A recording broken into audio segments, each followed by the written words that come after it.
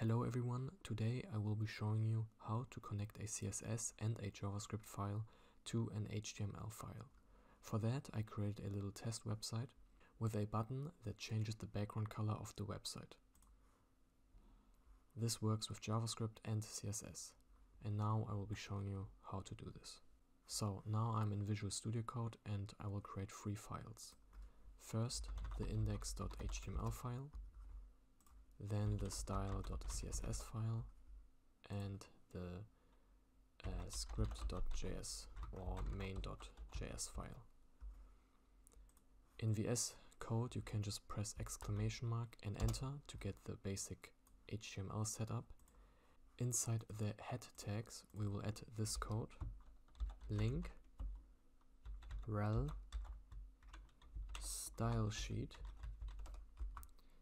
and the name of the file. In my case it's style.css style.css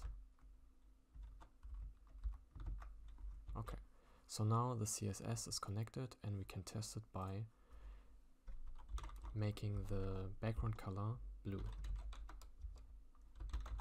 Like that. So we can test this. Just drag the file into your browser and you can see our file now has a blue background.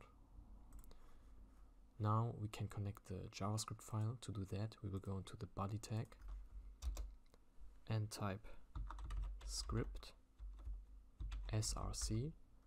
And this is also just the name of your JavaScript file main.js and we will close the script. Now we will have to create a button. Just like that and we will add a ID to the button which we will call test button. We save it and now we go to our JavaScript file and we have to get this button into JS. So we will type let test button, so we declare a variable get uh, document dot get element by ID. So that way we get the element by the ID, which is test button.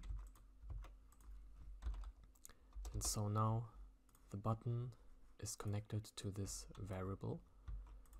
Now we can say test button add event listener on click we will start this function and here we'll just type document body dot style dot background color equals red.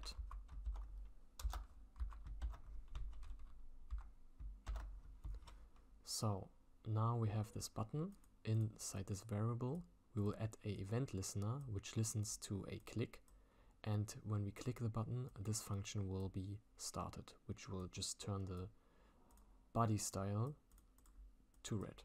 So we save everything, go to our website, press F5 or just refresh the page.